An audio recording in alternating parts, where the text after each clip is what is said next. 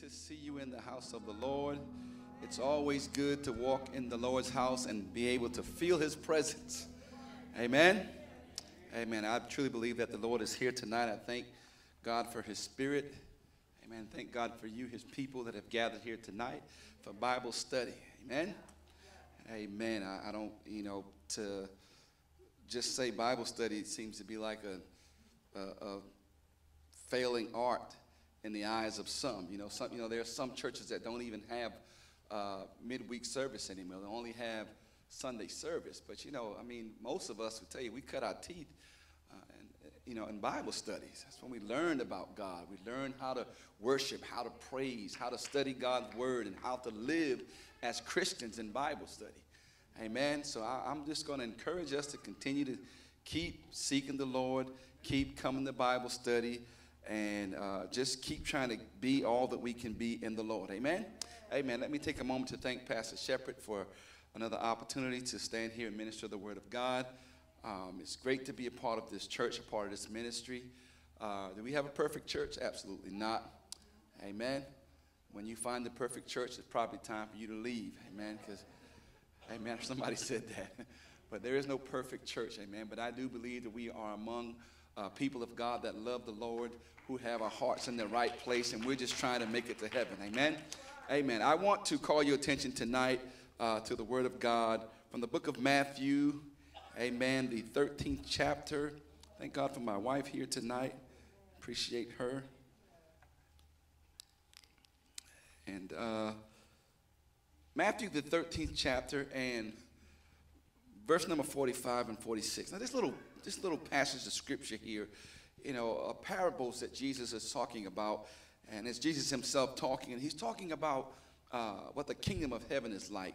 And he goes through a, a number of parables here, but I want to focus on this parable that he uh, talks about in uh, the 13th chapter. starts at verse number 45. And it says, Again, the kingdom of heaven is like unto a merchant man seeking goodly pearls, who, when he has found one pearl, of great price, went and sold all that he had and bought it. Amen.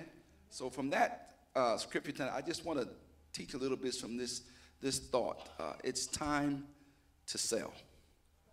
Amen. It's time to sell. Let's go before the Lord. Father, in the name of Jesus, we thank you, Lord God, for your word. We thank you for your people that have gathered here tonight. I pray, God, that you help me, Lord God. Anoint me, Lord God.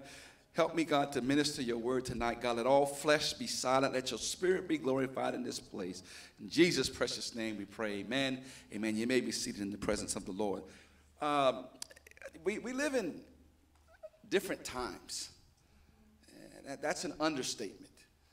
And if you don't think the times are changing, then, then you, you're living under a rock. And you need to get out more because the times – is changing. The world is changing. And, you know, so many things are happening. And, they seem to be happening just on a reoccurring basis. You know, people don't value life anymore. Uh, just, just today, I was uh, listening to the radio and I just uh, came across the news that there was a, a, a mass shooting in, in uh, Pennsylvania and, and you know, you hear about these things so much now that they don't even make the major news anymore. You know, we, we've become kind of callous to them. And, and it, there's just something missing in our world. Amen. The, the, the feeling, the love, the, the, the, the, the, the, the honor and respect for human beings is just diminished in our love and in our world. And so, it, begs the question what are we looking for? What are we missing? And when I, I came across this text, you know, the Lord dropped this in my spirit a few days ago, and he said that the kingdom of heaven is likened to a merchant man. And I want to read that just a little bit more. Listen to this now. He said, Again, the kingdom of heaven is likened to a merchant man seeking goodly pearls. Now, uh, the merchant man, obviously, he's a man at sea. And he's got the whole sea. He's got a vast sea that he's searching through, trying to find something of value. And it's like people in, gen- in general, all of us are looking for something. People die and give up their lives looking for something. People, when, when they feel when they feel that they can't, uh, they get to a certain point and they feel like there's nothing else to, to uh, what's the word, to, to, uh, to reach for or, or to, to, to, that's not the word I'm looking for. It, it, it, to, they're trying, they, they come to a point and they find, they can't find any motivation or any drive, any aspirations to reach for anything further. Because they get to a point where they feel like like this is it. Life has failed and i should just give up. But saints of god that's not the end I mean, God always has a way for us. The problem is we're looking for the wrong things to satisfy us. We're looking for peace and joy and love in the wrong things. The things that we're looking to satisfy us, you see, this body that we are in, this body that we are in, it, it, it's a soul inside of this body. Amen. And remember how that soul got there. God breathed into Adam's nostril and he became a living soul. So a part of God was put inside of him. And there's a part of, of us as human beings that only God can satisfy. No matter what we reach for in this world, no matter what we obtain, no matter what we accomplish and what we have, there's a part of us that only God can satisfy.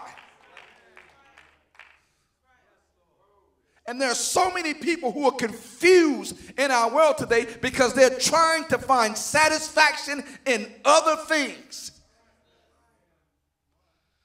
Hallelujah. And so this merchant man is like many of us. He's on a vast sea trying to find something that's going to satisfy him. And then he happens upon what the Bible refers to as a goodly pearl. Now, I want you to imagine a vast sea. Now, I've been out on the Chattahoochee a couple times. And to me, that's that's that's pretty that's big enough for me. You know, to this day, I'm well, don't worry about how old I am. Well, I just I just turned 53 last week. And and and and I've never been on a cruise. Because I can't drink all that water.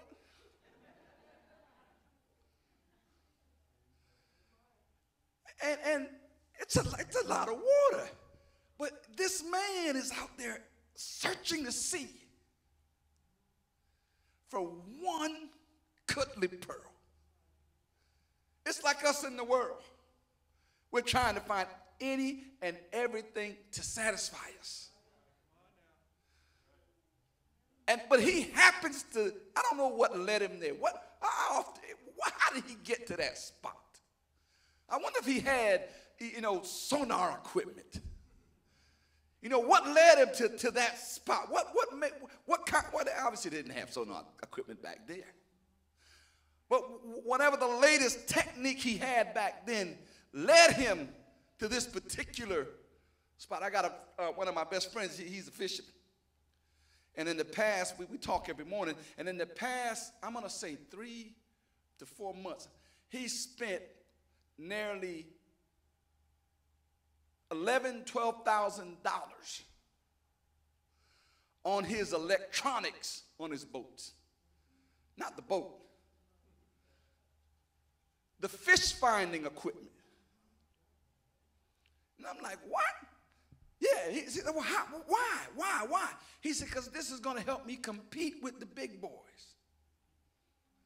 Because fish finders show you where the fish are. You driving up in the boat, and it's, it's pretty cool how it works. There's a little screen right there. There's a whole bunch of them right here. That ain't going to help you catch them, but it'll tell you where they are. And so I, I, I think about this merchant man and, and how did he get to this spot? That he found this one thing. And when he found it, Brother Wilson, the Bible said it was so good to him. Now, obviously, this man's a merchant man, so he's got stuff already. You're not a poor man if you're a merchant man out on, on the. Oh, you, you, you got, first of all, you got a boat. Huh? You, you got to have all, all the, the, the paraphernalia that come along with being a boater and a fisherman. And so he's not a man of meager means. But he found something that he thought was so valuable that he went home and said, This is my last day fish. This is my last day being a merchantman. I'm going into retirement. I'm hanging it up because I found something that's going to satisfy all my needs. And I'm selling everything I've got. I'm, I'm, I'm pushing all the chips in on the table. And I'm going to bet on this one thing Saints of God, what this parable is telling us is that Jesus Christ is the only thing that you can actually count on. It is the one thing that's worth selling everything else. It's worth giving up everything else if you can just find a relationship with Him. I'm talking about a true relationship. Saints of God, if you have a true relationship with God, you are growing in your faith. If you're not growing in your faith, something is wrong. It's a shame for us to be in church all of these years and have the same old mean spirit, the same old bad attitude, the same old can't hug anybody, can't tell anybody you love them been coming to church all these years and not making any growth, just marking time. That's not why God saved us. You ought to be growing up in the Lord. You ought to be in the point at the point at some point in time where, where folks treat you wrong and they do stuff that, that, that aggravate you where you just love them anyway. I've been serving God long enough that I'm not going to allow you to upset my spirit.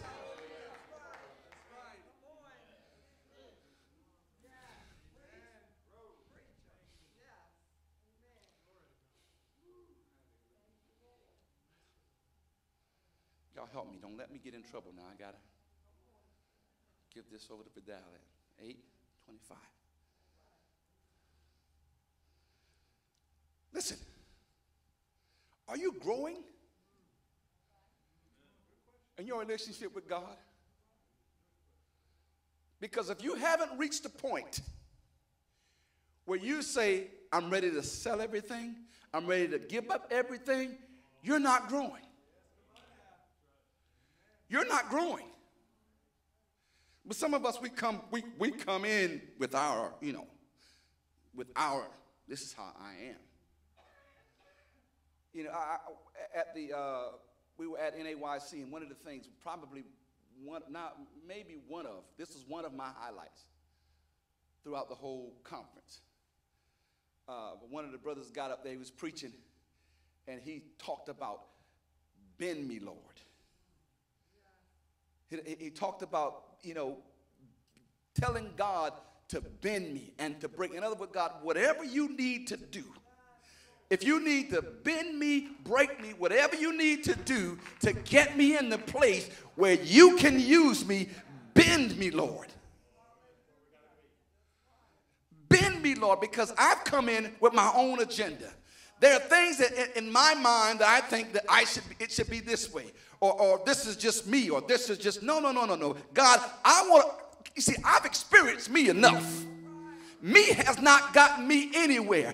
I need God in my life to help me rid myself of me. Because I need Him. I want to be in that place where the scripture says it's no more I, but Christ that lives inside of me. In him I move, I live, and I have my being. And in order for that to happen, saints of God, there are some things that we're going to have to say, Lord, bend me in this area. Because I can't grow unless you bend me. But some of us are still searching. We're still at sea. Looking for something that, that here's, a, here's, here's, here's what has happened to our world. Those of us who are, and, and have, I, I, remember saying something similar to this uh, in a lesson not too long ago. Each generation looks back at the the older generation looks back at the younger generation and say, oh, they had it all, they're, they're confused, they had it all wrong, you know. Because they're wiser and they're smarter, smarter the younger generation says, hey, y'all, Y'all worked harder. We're working smarter. And where was I going with that? Anyway, it'll come back to me. but but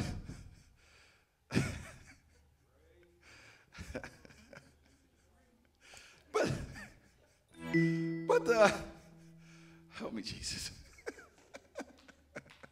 53 oh yeah 53 53. Lord help me.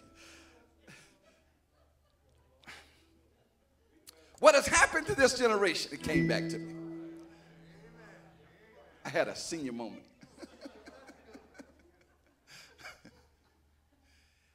is that, you see, I, I, will just, you can't get mad at me if I preach by myself. So, you know, I grew up in a house there was six boys in there, no girls. My mom was primarily the one who worked most of the time. My daddy uh, didn't have like, he, he, worked, he just didn't have like steady jobs. He did different odds and end jobs. But my mom was primarily the, the breadwinner for us. And I, I, remember like seeing some of her checks back in the day. I, I think she made like maybe 200 and something dollars a week or something like that. Hey, y'all looking at me like, well, yeah. Yeah. But we had clothes. We, we had food. People thought we had stuff we didn't have. But more than anything, in those days, we knew about God. In those days, conditions were created that forced us to pray. It forced the people of God to pray. You needed miracles. You had to have God perform miracles in order for you to stay alive. Generation it's the Laodicean generation. They are rich with good and have need of nothing. Of nothing.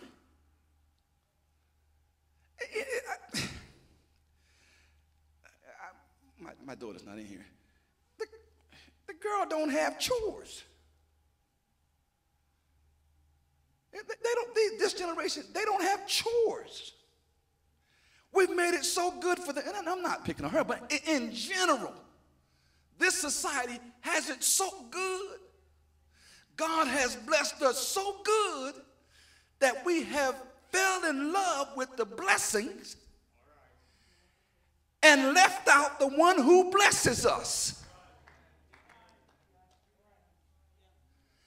And what happens to this generation is when the blessing leaves, you're ready to lose your mind.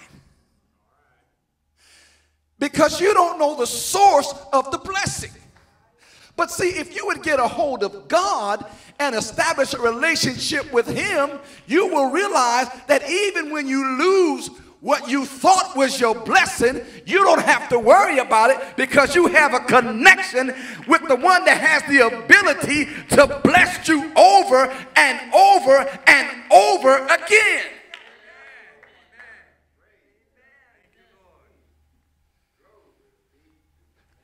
So I know this guy. I've been talking, I talk to him a lot. He's pretty close to me. And he, he had a job, okay? And he moved from one job to another job. And he worked there for about maybe two years or so. He said, he said Man, I hate this job. And he was, he was in, you know, in a, in a contract situation where he had to work there for a certain amount of time. And he was telling me, he says, Man, as soon as my obligation is over, I'm out of here. I'm like, Hey, man, the job market's hard. I don't care. I'll find something. I'm out of here. As soon as I said, Okay, fine. And as soon as his contract was over, he was out of there. Found another job. I don't know who was happier, them or him. And so he found this other job well, you know, he applied for a couple different ones. And he applied for this one and he got this job making more money. And he says, I'm starting in, in you know, seven days or whatever, whatever. And he says, but if this other job calls me, I'm leaving them. I was like, come on, man. I said, you, you can't do that, man. I said, you, you, these folks just hired you. They're going to take you through the process and spend all that time in HR and get you hooked up and you know, get you in this job, and you're just going to leave after a week or two? He said, I don't care what you say. This other job, this is the premier job in the city. He said, This is where you want to be. If they call me, I'm gone. They'll find somebody else the same way they found me. And I started thinking about that thing. I said, no, he got a point. He said, it's just a job. I'm going to go someplace where it, I was conflicted with it, as you can see. I was conflicted with the whole thing because it's okay, how are you going to leave? And, because that's not my ultimate goal. Uh, I, I, don't, I don't understand. Maybe y'all help me. Some people say, well, it's a stepping stone. It's, a, it, it's however you want to look at it. But, but his explanation to me was that, listen, I'm not going to stay here when I can be here. He said, because, you know, and when you look at it in the big scheme of things, if these people needed to replace me, they would replace me and wouldn't think twice about it. But I'm looking out for what, what, what I know my potential is and where I could be. Now, you can do with that what you want to do with it. But a part of me is thinking, yeah, man, Go where you're going to get your best potential. Go where you're going to succeed. And so when I look at that and I, and I kind of juxtapose that with the scripture that, that I read here, it's like, am I going to be comfortable? What is going to keep me here in a place or what am I tied to here that's going to keep me from moving higher? Oh, God. Am I growing? Let's, let's come back to church. Let's leave the job stuff alone. Am I growing? I've been at, here's the point I'm really trying to make. I've been at this level for way too long when I know I have the potential in God to be here. And I'm discovering that the only thing that's keeping me from moving, that's keeping me from moving from here to here, is me. I can't point the blame at anybody else. If I'm not growing in God, it's something that I'm not doing. And so back to the job guys coming together now. He's looking at where I'm not, he's saying, I'm not concerned about these companies because they're not concerned about me.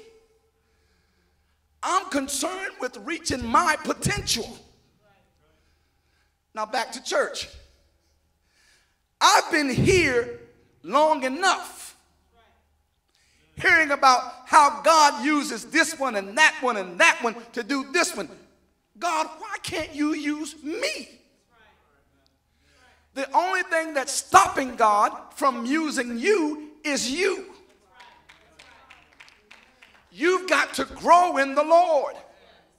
But the only way to grow, change has to happen.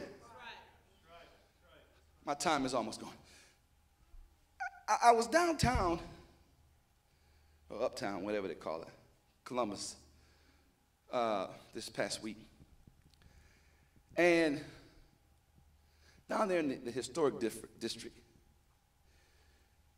and I saw all of these bugs.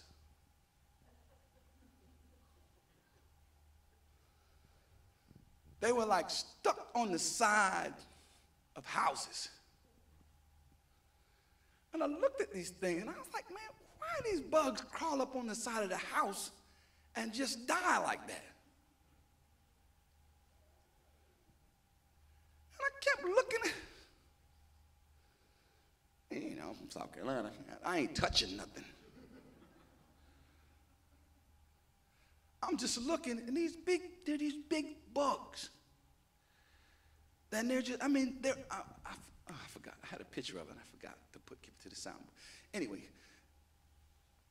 there, there's pictures. I mean, there's not pictures. I took a picture of it.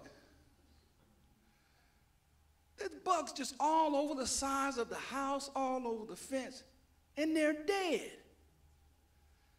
And so I'm trying to figure out why these bugs crawl up on the side of the house and die like that. And so I get a little closer and I look at the bug and it's like a skeleton.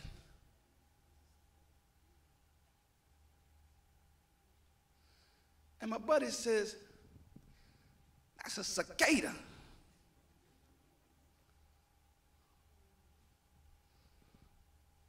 I said, Well, why they die like this on the? He said, Oh no. They're not dead. what happens with the cicada is, ooh, and this just I got, I was like, oh Lord, I thank you for the sermon. First of all, they make all kind of rackets. It's the males that make the rackets. And they make the rackets because they're trying to catch the females. They're trying to attract the females. They have like little, I did a whole study on this book stuff, man. They got little, little, got little stuff in this inside their stomach. Little wings like thing, and they it's like a drum. And they beat this little drum on the inside of their stomach and it makes a whole lot of racket. Know, it's like whoever makes the loudest noise is the king. And that's, that's the ones all the female bugs gonna come to. True story. But what happens with the cicadas is when they mature, they come out of their shells. And what's hanging on the side of the house that looks like a dead bug is just a former shell of someone that has a book, something that has grown and moved on. And some of us have been living in the same shell for 10, 15, 5, however many years, and there has no growth happened. But it's time for us to get to that point where we crawl out of that shell and leave that old shell behind and say, God, make me into something new. And whatever I got to get rid of, whatever I got to sell, I'll sell it because I want to be in your favor.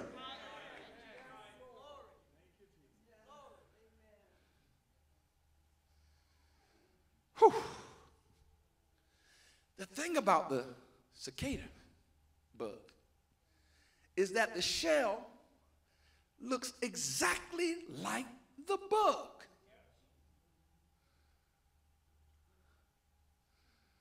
Now, when you go out tonight looking for them,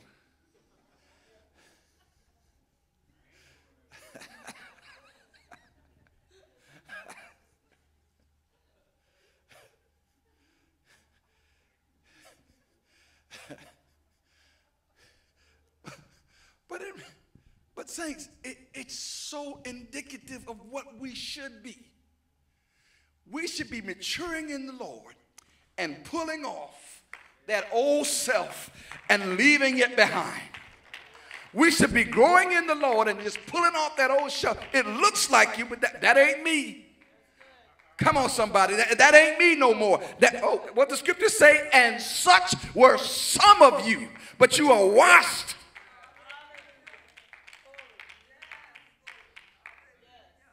God has changed you.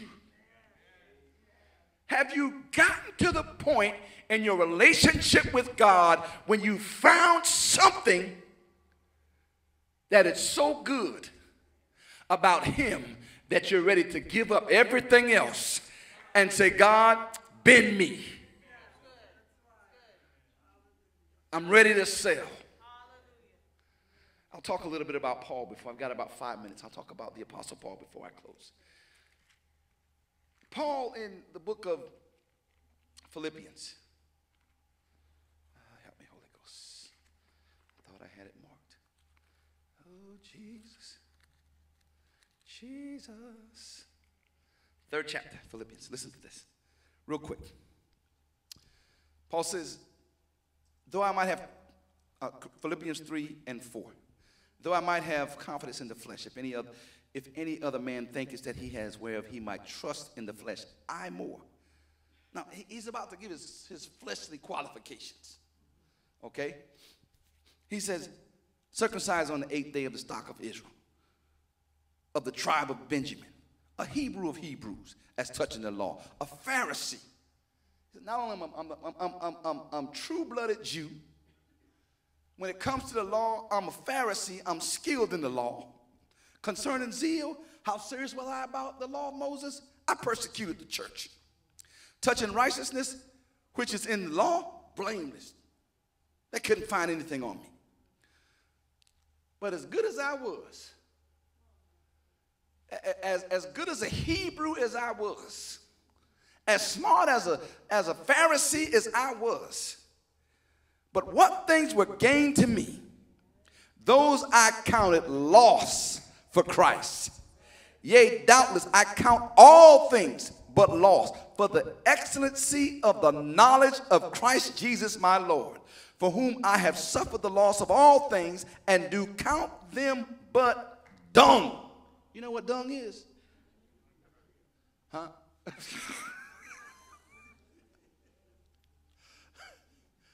he says, I count them as refuse. Who glory? that I might that I may win Christ. I give up everything. All of my accolades, all of my brain power, all, all everything. I, I was the man. But when I found Jesus, who glory, I sold it all. Why? I said, bend me, Jesus.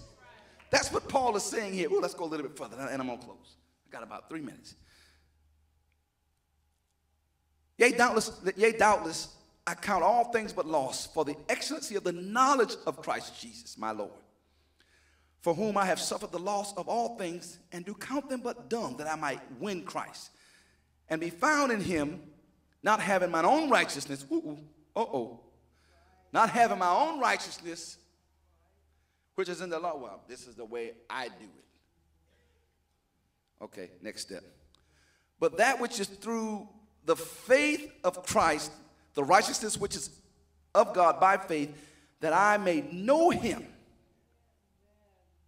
and the power of his resurrection and the fellowship of his suffering, being made conformable unto his death. Change me, Lord. I'll sell everything I have. I just want to serve you. When you found that goodly pearl, you searched the sea, this whole vast sea, this whole world, and you found something as good as Jesus Christ.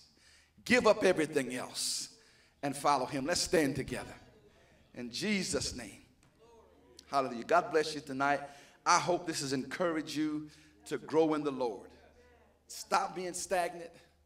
Stop. If you, if, if you don't know if you're stagnant or not, you're probably stagnant. Find something you can do. I need to grow in the Lord. I want to do more for God. I want God to be manifested in my life. I want people to know that I serve Him when I walk down the streets. I want people to notice that I'm a child of God. God bless you. Today. Let's pray. Father, in the name of Jesus, we thank you for this night, God. I thank you for your people. God, I thank you for your word. Help us tonight, God. Bless us in Jesus' name. Amen.